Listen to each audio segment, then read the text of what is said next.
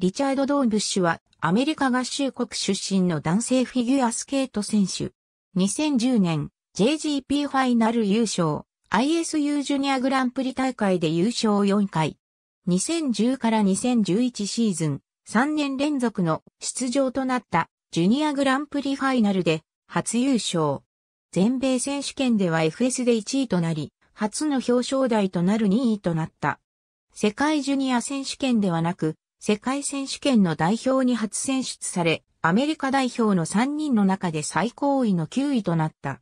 2011から2012シーズン、シニアのグランプリシリーズに参戦。全米選手権では、前年から順位を大きく落とし13位。ジェレミー・アボットが4大陸選手権の出場を辞退したために、補欠から繰り上がって出場し13位。2012から2013シーズン、フィンランディア杯で2位となり、シニアの国際大会で初めてメダルを獲得した。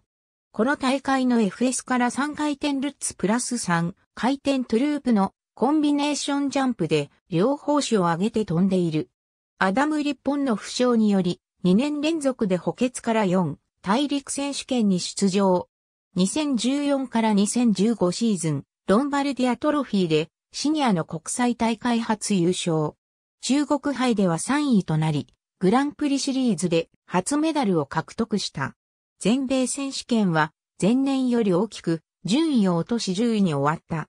2015から2016シーズンの全米選手権は椎間板ヘルニアにより欠場を発表した。